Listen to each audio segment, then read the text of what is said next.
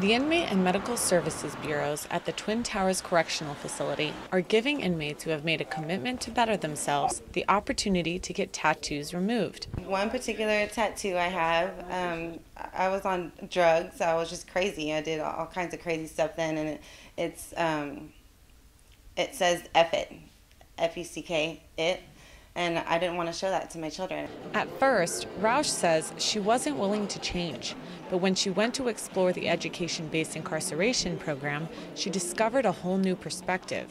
As time goes by, the reason why I went there is not the reason why I stayed. So I want to get a little emotional. um,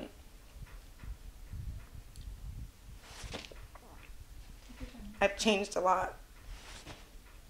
The goal of the program is to better the chances for inmates to get a job when they're released. When they go out, we don't want them to come back to the jail system.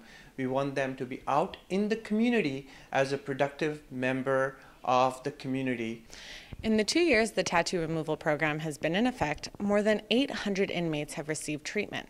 But unlike the other medical services provided here, the program is not funded by taxpayers. This is actually paid for by the Inmate Welfare Fund, which is a fund that's created by uh, the sales of items to the inmates. Currently, the Twin Towers owns two of these tattoo removal machines, each costing roughly $100,000. For inmates who may be hesitant to erase a part of their past, Roush has a bit of advice. I think they should go for it. It, it would make them feel a whole lot better about themselves. Do it.